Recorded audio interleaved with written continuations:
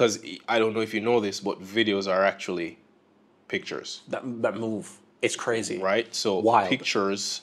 That's why uh, you you know the term motion pictures. That's that's what a movie is, motion picture.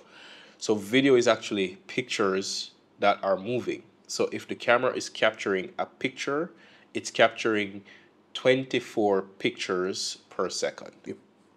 Which in one second, if I am moving my hand in a second, then it will capture the, the smooth, which is why short, um, shutter speed is, im- is important, but you'll, you'll, we'll talk about that later. But the, for every second that you're watching, the camera captured 24 pictures. And it merges that as, as one fluid thing that looks like Motion. motion. Right.